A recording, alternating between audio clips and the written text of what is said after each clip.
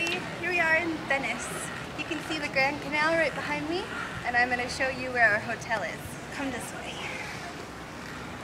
So you can see this is Balzaras on stay.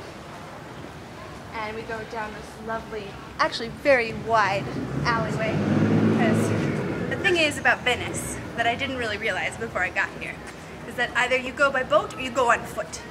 And most often there's just canals and you have to kind of walk beside them and then go across all these bridges. So this is actually like a really wide street.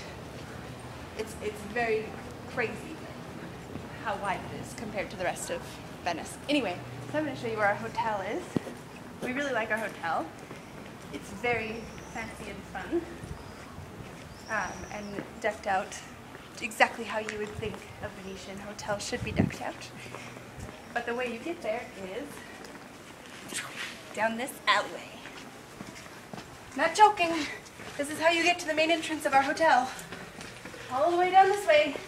If you notice, it actually gets narrower. and more and more narrow. And more and more narrow. And more and more narrow. Until you finally get to, this is actually the main entrance to the lobby. And you can see Hotel Al Ponte Mocenigo, Venezia. And if you come just a little bit further, you get to one of the little side canals.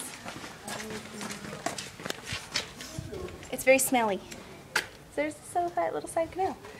And if Nate goes down a couple steps, he can poke the video camera around the corner so you can see how pretty it is. So now I can show you to where our door is. Because we're in the annex. Yes, we're in the annex. So the kind of nice part about this is that it's actually divided up almost like apartments. Um, so there's like an apartment with four floors, and each floor has four rooms. And uh, between each of the four rooms on a floor is like an annex area. Um, so when you go to our rooms, get the key. Oh, Yes, that's- but we don't need it for this part. Oh, we don't need it for this part, that's true. But I want to show them the rooms too. Yeah, I'll get it out when we get up there. We should go down to 89. Hey. So we actually have two private entrances.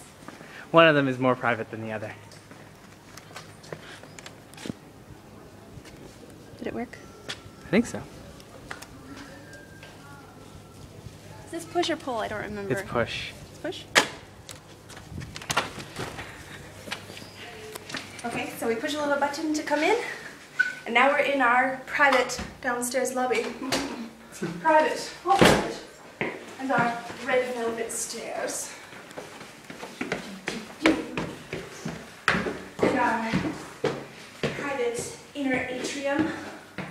And then we have our bedroom. And actually, so each of us has our own little bedroom, and um, kind of areas. There's three, three, two, and two. And this is our room.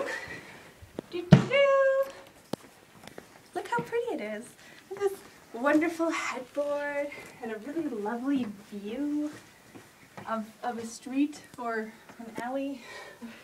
We, we have a Murano glass chandelier, which is pretty neat.